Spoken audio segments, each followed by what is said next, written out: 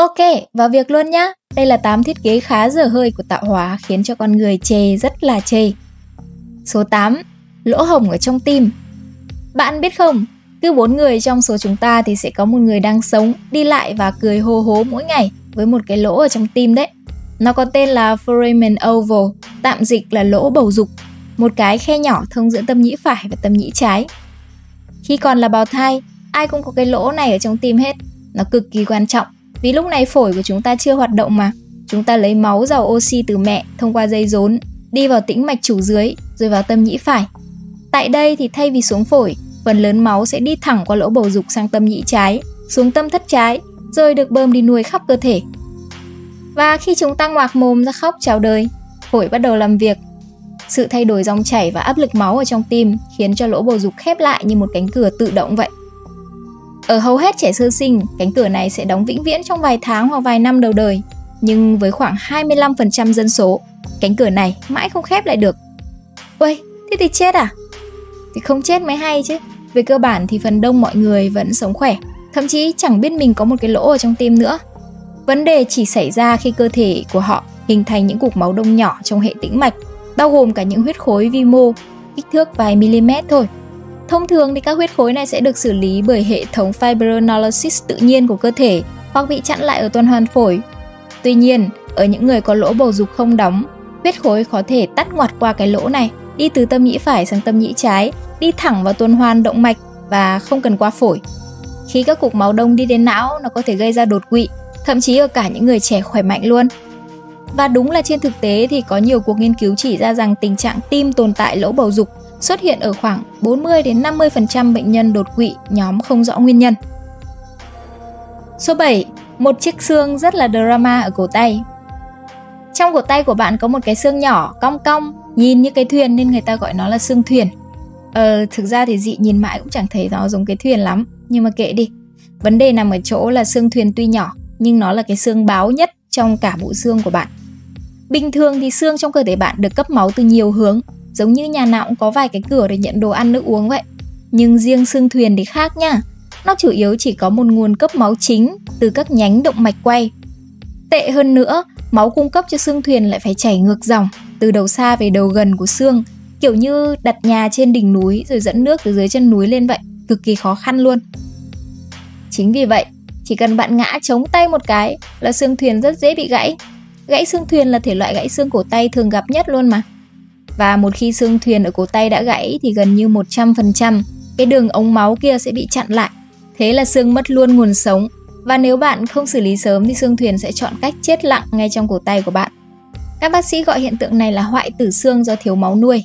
Nghe cho nó sang mồm nhưng mà hiểu đơn giản là xương chết. Nếu nặng quá thì các bác sĩ buộc phải loại bỏ phần xương hoại tử và thực hiện phẫu thuật tái tạo. Đấy, nói chung là xương thuyền nó rất là drama không đối xử tử tế với em một cái là dễ tay ơi ở lại xương đi nhé lắm đấy. Số 6. Cái cột sống hiện đại hại điện Hàng triệu năm về trước khi tổ tiên chúng ta bắt đầu đi bằng hai chân và cần một cơ chế giảm sóc xịn sò hơn. Thế là tiến hóa update cho chúng ta một chiếc cột sống hình chữ S với bốn đường cong sinh lý giúp giảm sóc cực đỉnh, có thể chịu lực gấp 10 lần so với cột sống thẳng. Nhưng mà cái thiết kế thông minh này cũng là thứ đang âm thầm làm khổ bạn cho tới tận ngày nay đấy. Hãy nghĩ cuộc sống giống như là một bộ phận giảm sóc trong chiếc xe vậy.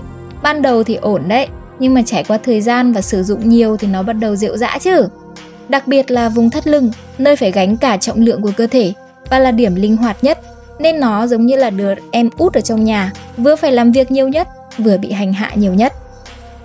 Mỗi bước đi, mỗi cú nhảy, mọi lực đều dồn vào vùng lưng dưới. Giữa các đốt sống là những đệm nhỏ gọi là đĩa đệm.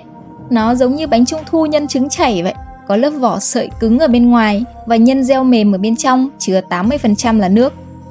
Nhưng mà khi áp lực quá lớn hoặc lớp vỏ yếu đi theo tuổi tác thì nhân mềm sẽ tìm cách chảy ra ngoài thông qua vết sách của lớp vỏ. Và đó chính là thoát vị đĩa đệm.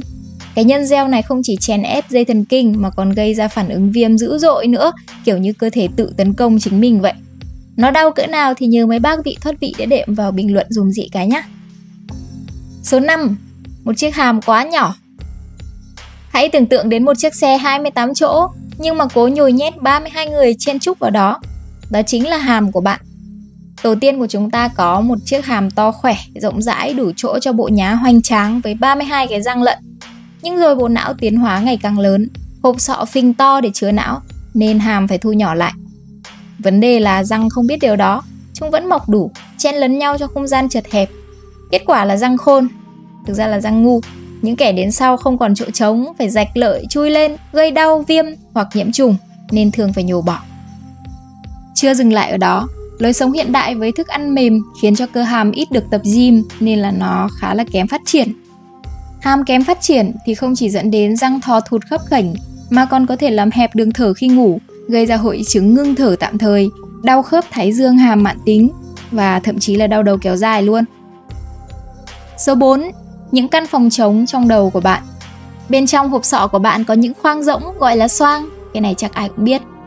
Đây là những cái hang chứa đầy không khí và cũng đầy phiền toái. Suốt hàng thế kỷ, khoa học đã đề xuất rất nhiều giả thuyết nào là xoang giúp giảm trọng lượng hộp sọ, giúp làm ấm và ẩm không khí hít vào, thậm chí cộng hưởng giọng nói. Nhưng mà cho đến nay, chức năng chính xác của xoang thì vẫn chưa được rõ ràng cho lắm. Xoang được lót bởi lớp niêm mạc dịch nhầy, có nhiệm vụ là bẫy bụi và vi khuẩn, rồi đẩy dịch này xuống họng thông qua hệ thống lông chuyển để nuốt hoặc khạc ra. Khi niêm mạc bị viêm do cảm lạnh, dị ứng hoặc là vi khuẩn thì dịch nhây sẽ ứ động, xoang mất khả năng tự làm sạch và trở thành biệt thự cho vi khuẩn phát triển. Đó chính là viêm xoang. Khi bạn bị viêm xoang cấp, áp lực tăng ở trong khoang kín này sẽ khiến bạn phải chửi thề vì đau nhức vùng trán, gò má hay là sau mắt. Những xoang này rất giỏi khuếch đại cơn cảm lạnh nhỏ thành cơn đau dữ dội bởi niêm mạc bị sưng, dịch ứ làm tăng áp suất, kích thích các thụ thể đau. Cơ thể lúc này giống như là có cơ chế phóng đại mọi rắc rối nhỏ thành thảm họa vậy. Số 3. Một ngã tư tử thần ở trong cổ họng. Một cái ống mà vừa dùng để ăn vừa dùng để thở, đó chính là hầu họng, giao lộ nguy hiểm nhất trong cơ thể. Mỗi khi bạn nuốt, nắp thanh quản giống như một vị cảnh sát giao thông sẽ lập tức gập mình xuống để che kín khí quản lại, dẫn thức ăn về thực quản, ngăn không cho nó đi vào đường thở. Nhưng mà vị cảnh sát này đôi khi sẽ mất tập trung chứ, bạn cứ thử vừa nói chuyện vừa uống nước mà xem, dễ bị sạc lắm. Thực ra cơ chế này rất phức tạp. Chuyển động của lưỡi, của hầu, sụn nắp thanh quản và các cơ nhai nuốt phải phối hợp cực kỳ chính xác. Chúng phải phân luồng thức ăn và không khí ra quyết định trong vòng chưa đầy một giây. Nói chung dị thấy tạo hóa thiết kế quả này chưa được tối ưu cho lắm nhỉ. Số 2. Một cái khớp gối khốn khổ. Hãy tưởng tượng bạn đang nâng tạ 70 cân mà còn phải xoay vặn. Đó chính là công việc hàng ngày của khớp gối đấy. Khớp gối là nơi xương đùi khớp với xương ống chân, có thêm xương bánh chè nằm phía trước để tăng tính cơ học, bảo vệ và cải thiện hiệu suất gập duỗi. Khi bạn chạy hoặc nhảy, lực tác động lên khe khớp giữa đùi và ống chân có thể gấp 7 đến 9 lần trọng lượng cơ thể. Như thể mỗi bước tiếp đất của bạn có một chú voi đang dẫm lên đầu gối bạn vậy. Và để giữ ổn định thì khớp gối của bạn phải dựa vào hệ thống dây chằng gồm có dây chằng chéo trước, chéo sau, bên trong và bên ngoài.